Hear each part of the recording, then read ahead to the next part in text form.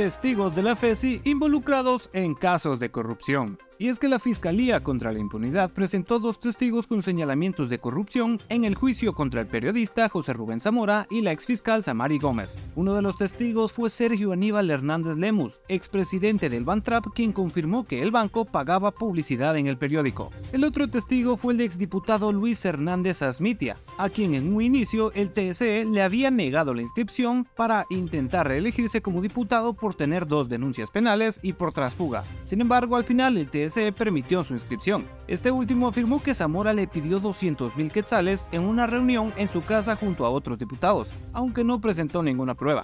Además, ambos testigos enfrentan cargos por delitos graves. Para más información puedes ingresar a www.elperiodico.com.gt.